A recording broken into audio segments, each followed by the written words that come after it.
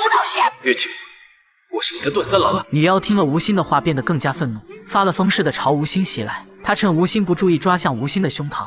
你没有心，不然你以为我为什么叫吴昕？吴昕决定速战速决，他用沾满鲜血的绳子缠住女妖的脖子。女妖口中发出凄惨的叫声，眼看自己不是吴昕的对手，女妖猛地起身撞向身后的石门，随后就灰飞烟灭了。吴昕看着石门被撞的裂痕，疑惑女妖为何忍受着魂飞魄散的痛苦，也要去撞这施了法术的八卦门，里面到底封印着什么东西？他暂且打消心中的疑虑，带着女妖的残骸回到地面。这时，顾玄武和月牙也赶了过来。吴昕从头发底下抽出一个木偶，说这就是女妖的原型。众人纷纷疑惑一个木偶如何作怪。吴昕解释，有人在木偶上施了法术，才让这女妖兴风作浪，祸害百姓。眼下邪祟已除，吴昕让顾玄武准备些柴火。就在他准备烧了木偶时，女妖的魂魄却再次开口说话。他请求吴昕不要伤害石门里的东西，不要伤害他，他很可怜的，他已经赎罪了。原来女妖并不是岳绮罗，而是他身边的丫鬟。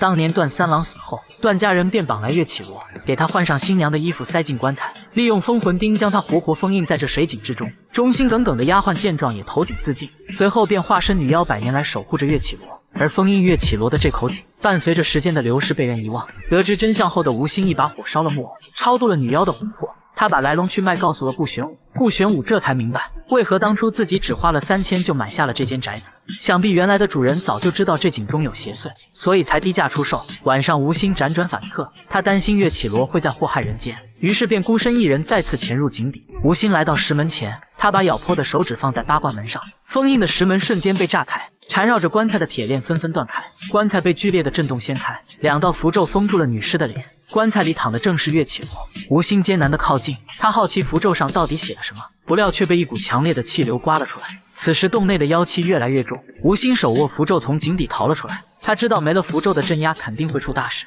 果然，在他回家的路上，一个奇怪的女孩拦住了他。吴昕看着熟悉的绣花鞋，知道她就是被封印上百年的岳绮罗。